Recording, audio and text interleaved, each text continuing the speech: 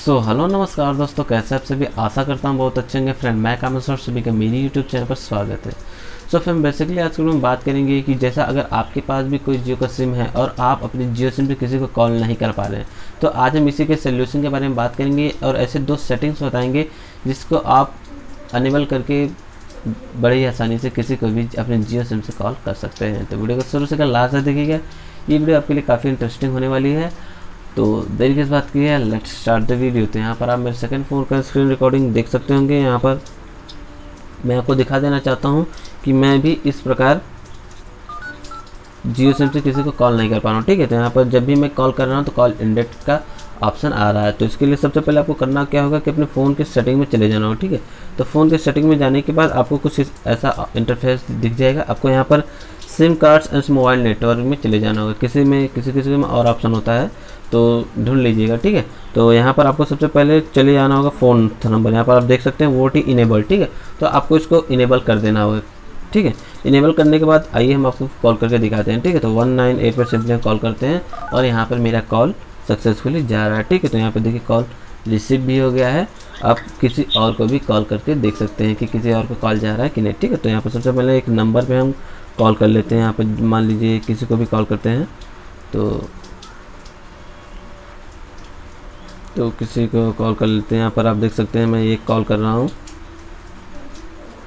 ठीक है ठीक है, यहाँ पर देखिए रिंग भी जा रही है, और मैं बड़ी आसानी से किसी से भी बात कर सकता हूँ, और अगर आप में ये सेटिंग इनेबल करने पर फिर भी नहीं कॉल वाइज बात कर पा रहे हैं, या फिर आपका रेडमी का फ़ोन नहीं है किसी और कंपनी का फ़ोन है तो आपके लिए इसके आपको इसके लिए सबसे पहले प्ले स्टोर से एक एप्लीकेशन डाउनलोड करना होगा, जो है जियो कॉल ठीक है? तो यहाँ पर जियो वॉइस भी डाल सकते हैं जियो वॉइस कॉल भी डाल सकते हैं, या फिर जियो कॉल सिंपली डाल सकते हैं। यहाँ पर आपको ये एप्लीकेशन इंस्टॉल करनी होगी। इंस्टॉल करने के बाद इसको सक्सेसफुली ओपन कर लेना होगा, ठीक है?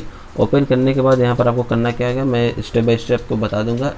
ठीक, ऐसा ही स्टेप फॉलो करने पर आप बड़े ही आसानी से अपने जियो से किसी को भी कॉल कर सकते हैं, ठीक है? तो यहाँ पर नर्स के बटन पर क्लिक करना हो, ठीक है? तो यहाँ पर सिंपली नेक्स्ट कर देते हैं। जो भी परमिशन माँगता है, इसको सिंपली आपको अलाउ करते जाना होगा, ठीक है? तो यहाँ पर मैं परमिशन भी सारे अलाउ कर लेता हूँ, ठीक है?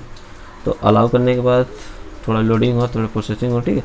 तो आपको यहाँ पर मोबाइल पर क्लिक कर लेना होगा और थोड़ा रजिस्ट्रेशन करना होगा यहाँ पर। देखिए, कुछ टाइमिंग लगेगा। तो यहाँ पर सिंपली आपको स्किप कर देना होगा, जो भी आता है आप स्किप करते जाइएगा ऊपर की ओर। और यहाँ पर एस एम एस नो ठीक है? आप यस भी कर सकते हैं, आपको इसी में एस एम एस और कॉल दोनों आएँगे तो आप आपको सिंपली कॉल करने के लिए यहाँ पर कॉल के आइकन आइकन पे जाना होगा, ठीक है? तो यहाँ पर आपको बड़ी आसानी से कॉल करने के लिए मिल जाएगा, ठीक है? तो यहाँ पर आप देख सकते हैं, किसी को भी जिसका भी नंबर आपका सेव है, उसको बड़ी आसानी से कॉल कर सकते हैं इस एप्लीकेशन के थ्रू भी, ठीक है?